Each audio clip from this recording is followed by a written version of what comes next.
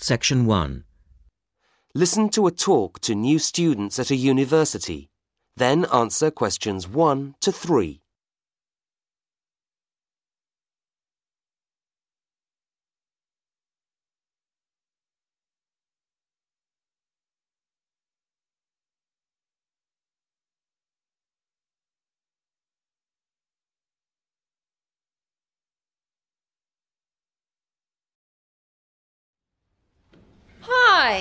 It's good to see you all here today. And what a pity the weather is so bad for your first day at university. it could at least have stayed sunny today.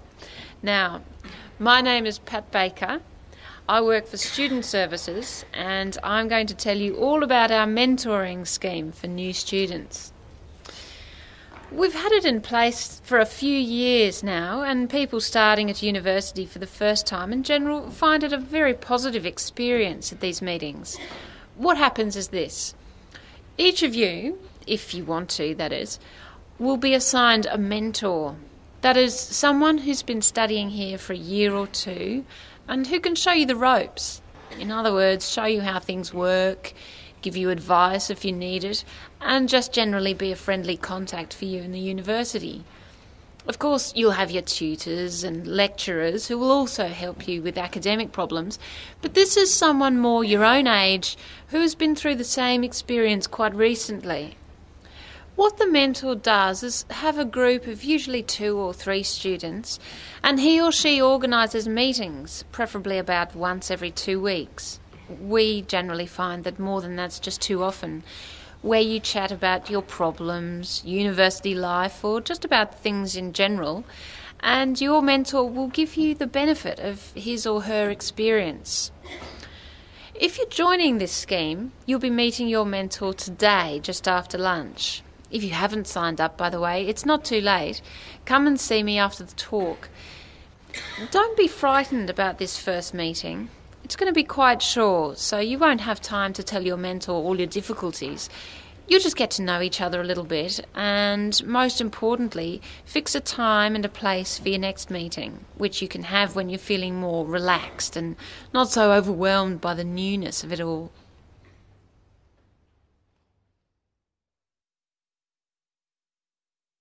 Before the talk continues, you have some time to look at questions 4 to 10.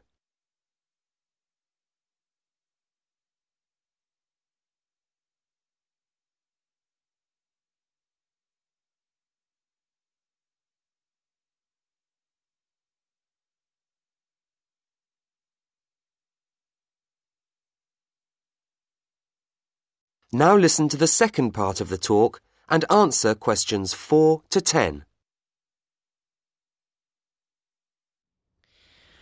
Mentors, as I've said, have been through the same experience as you quite recently, so they can understand your problems. They'll be able to tell you about academic systems, which are so different at university from what you were used to at school. Also, because at university you are much more independent and you have to spend so much time studying on your own, they can suggest techniques for studying which will help you to keep up to date with your work. This university is an enormous place, so another thing which they'll be able to help with is university facilities. You know, anything from sports halls to libraries to medical services, and they can probably help you get involved in all sorts of social activities too parties, clubs, sports, whatever. So, as you can see, this is a pretty useful scheme, but it does rely on people keeping in touch. The telephone's pretty useful if you have one, but students are busy people and often out doing things, so email is probably better. Your mentor will be able to show you how to get an email account. They don't cost anything to students, they're free. For people who have never been away from home before, a mentor is a useful contact and support, somewhere between a friend and a parent. And no doubt, as the year progresses and you start getting nervous around exam time, your mentor will be ready with useful tips on the best way to pass your exams. After all, they did the same ones either last year or the year before, and they passed them. That is the end of section 1. You now have half a minute to check your answers.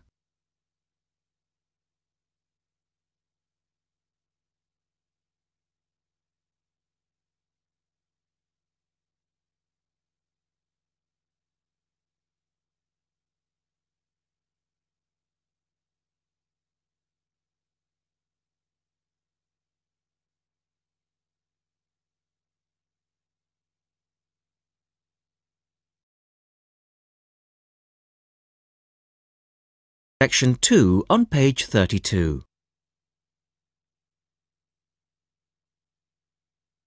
Section 2 You will hear a reporter talking on the radio about old racing cars. First, look at questions 11 to 16.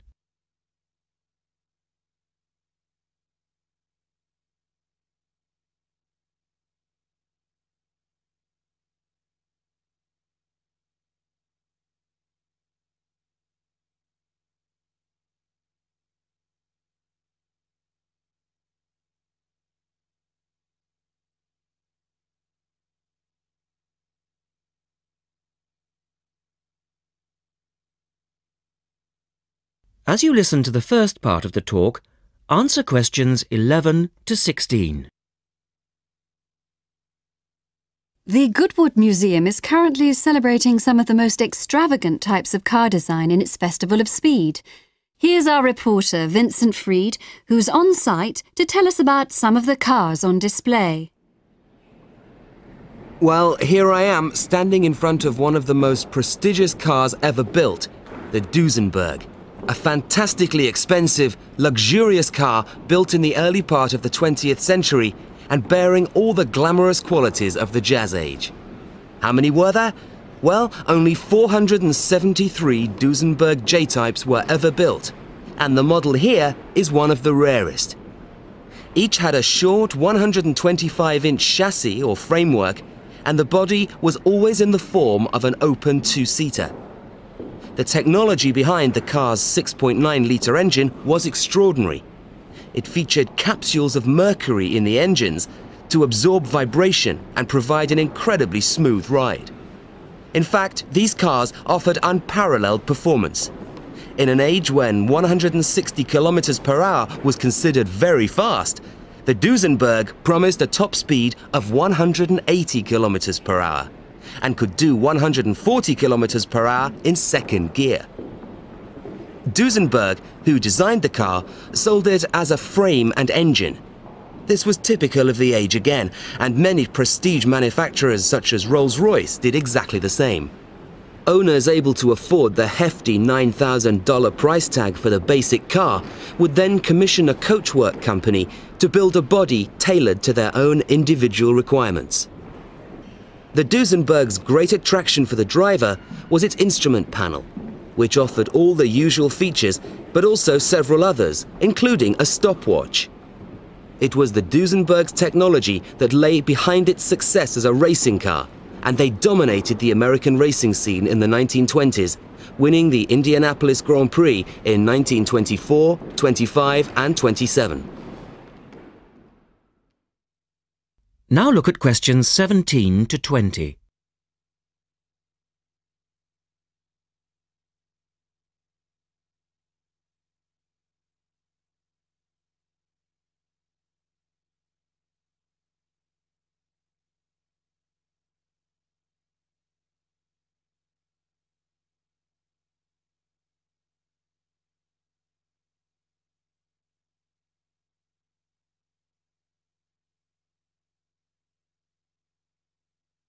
As the talk continues, answer questions 17 to 20.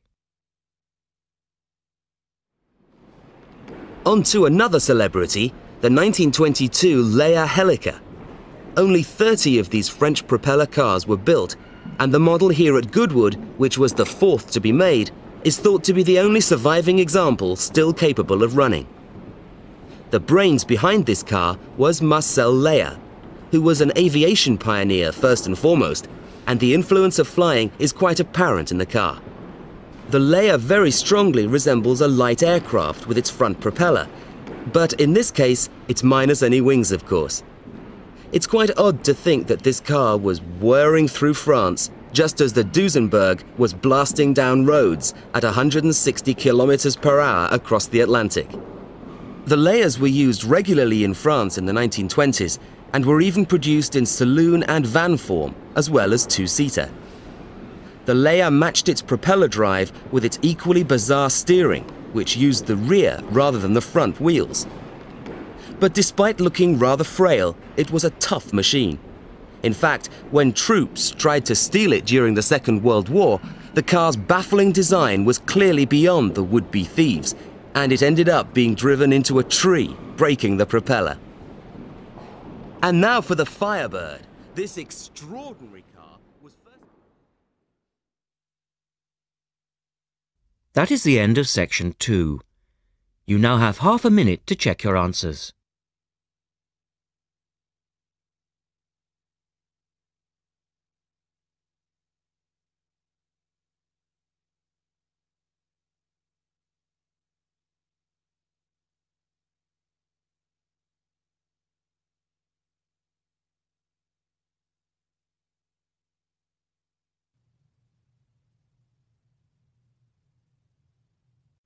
Now turn to Section 3. Section 3. You'll hear three university students talking about a presentation which one of them has to give. First, you have some time to look at questions 21 to 24.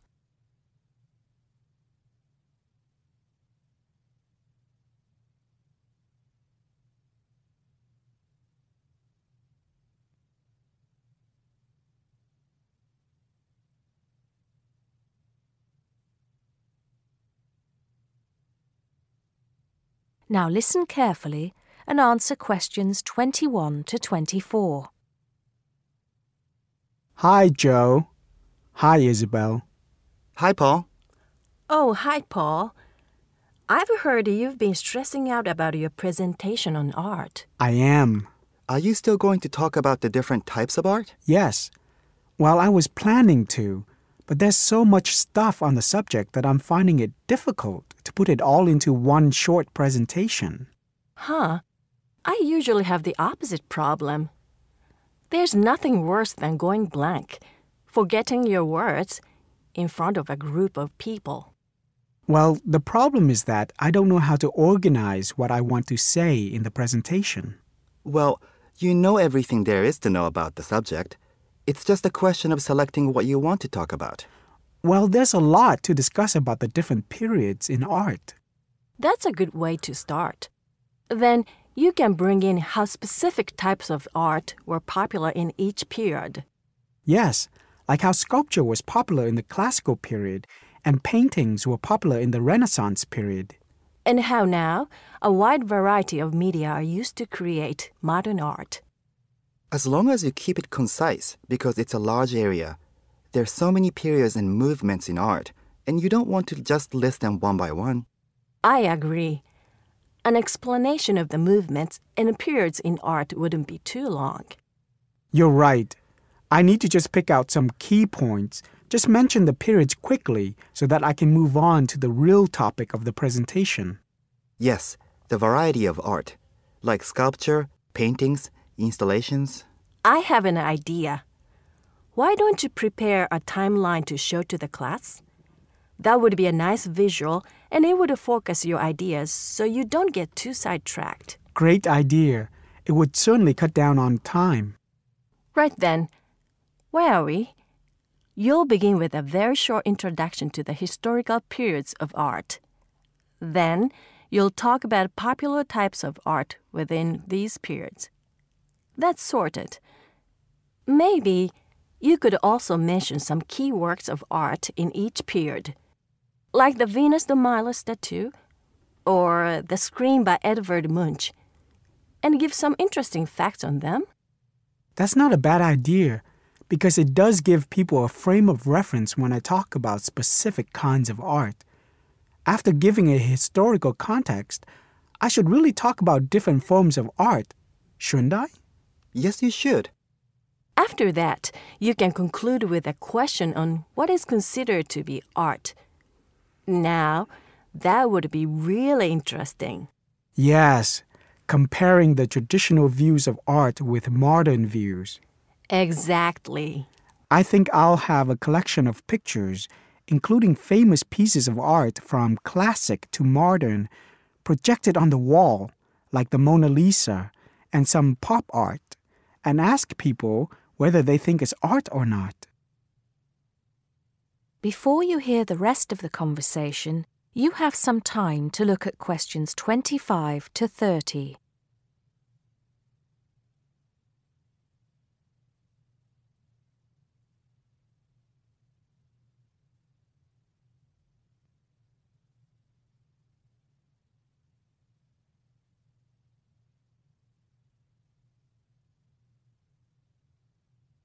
Now listen and answer questions 25 to 30. Showing some famous works and asking people what art is would certainly lead to discussion in the room.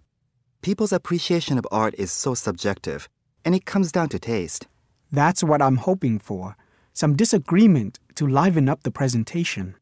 And you could stick in some really controversial ones like graffiti and modern art installations in between pieces of art that are universally accepted, like the work of the Renaissance painters. Sounds good to me. I have to say, I really don't understand some modern art myself. There was one recently that was just a pile of rubbish. It doesn't require much skill to create, does it? And what does it mean? There's no point to it. Actually, Joe, I like some modern art.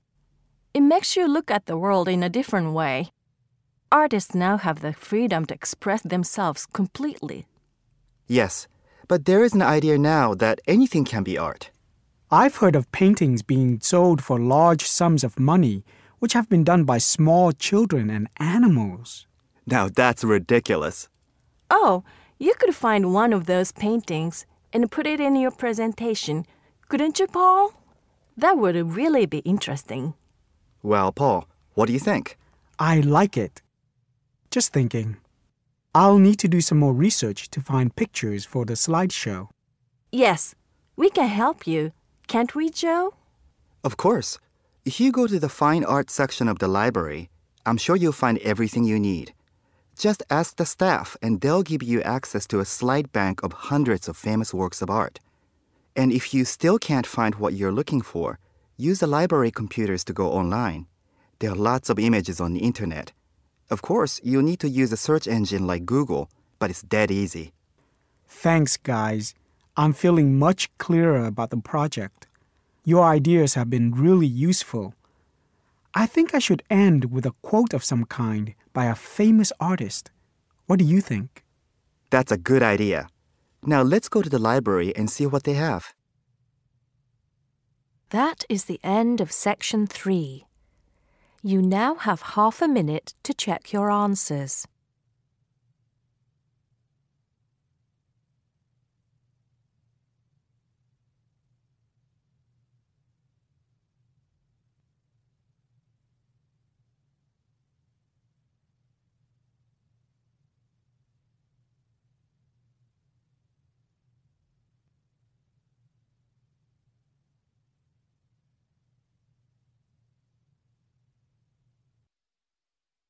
Now turn to section 4.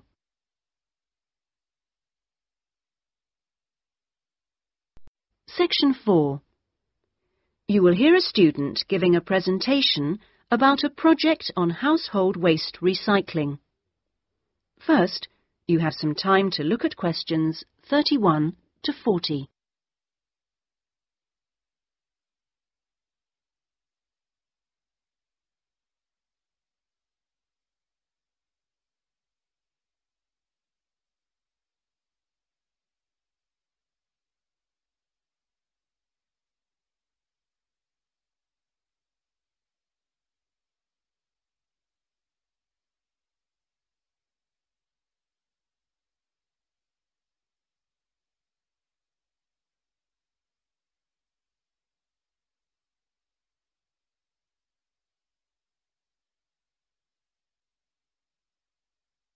Now listen carefully and answer questions 31 to 40. Well, my group has been doing a project on how household waste is recycled in Britain. Uh, we were quite shocked to discover that only 9% of people here in the UK make an effort to recycle their household waste. This is a lower figure than in most other European countries, and needs to increase dramatically in the next few years if the government is going to meet its recycling targets. The agreed targets for the UK mean that by 2008 we must reduce our carbon dioxide emissions by 12.5% compared with 1990. And recycling can help to achieve that goal in two main ways. The production of recycled glass and paper uses much less energy than producing them from virgin materials, and also recycling reduces greenhouse gas emissions from landfill sites and incineration plants.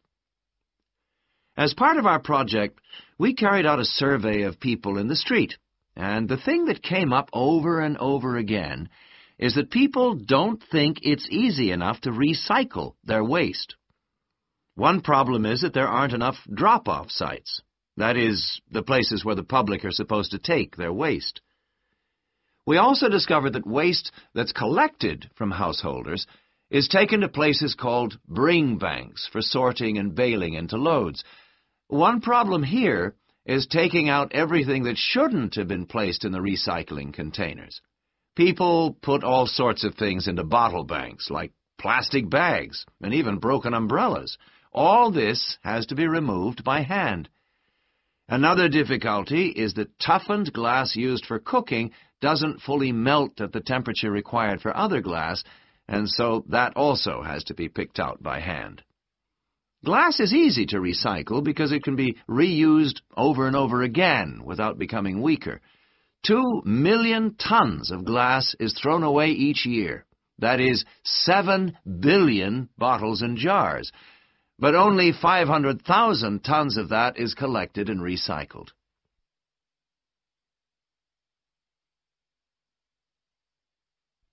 Oddly enough, half the glass that's collected is green, and a lot of that is imported, so more green glass is recycled than the UK needs. As a result, new uses are being developed for recycled glass, particularly green glass for example, in fiberglass manufacture and water filtration. A company called CLF Aggregates makes a product for roads, and 30% of the material is crushed glass.